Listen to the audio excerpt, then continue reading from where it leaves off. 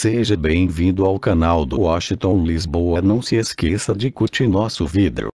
Bomba. Atriz da Globo choca jornalista ao revelar dois estupros, um coletivo e o outro por diretor da emissora. Atriz da Globo choca ao relatar dois estupros e aborto. Não esqueça. Lade Francisco revelou ter sido estuprada por um diretor de TV, há muitas décadas. Em entrevista ao blogueiro Paulo Sampaio, a atriz Lade Francisco, conhecida por sua extensa trajetória em novelas, revelou ter sido estuprada por um diretor de TV, há muitas décadas. Ele disse que queria conversar comigo sobre trabalho. Eu tinha acabado de chegar no Rio, era bobinha, ingênua, sonhava com uma oportunidade. Acreditei nele.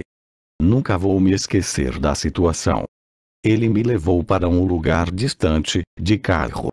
A casa não era grande, tinha uma entrada lateral, e só quando me cesto fechada no quarto com ele, entendi do que se tratava, contou ela, que prefere não revelar o nome do acusado. Questionada pelo blogueiro sobre os motivos pelos quais não o denunciou, respondeu: Naquela época, quem acreditaria em mim? Iam dizer. Essa aí, mal chegou e já está aprontando. Mas hoje eu faria um escândalo. A atriz revelou ter sofrido estupro em outra ocasião, praticado por quatro homens, após sair de um táxi. Um mês depois, eu estava grávida.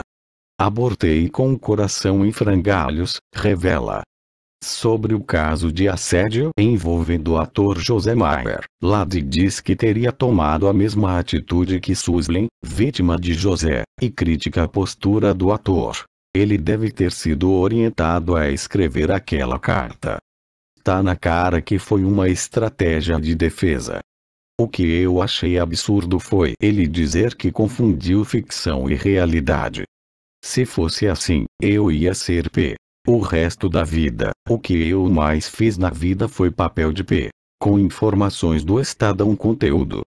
Muito obrigado por nos assistir. Mais informações temos aqui embaixo na descrição do vídeo. Eu espero vocês no próximo like se inscreva e ative as notificações. Um grande beijo e um forte abraço. Tchau tchau fui.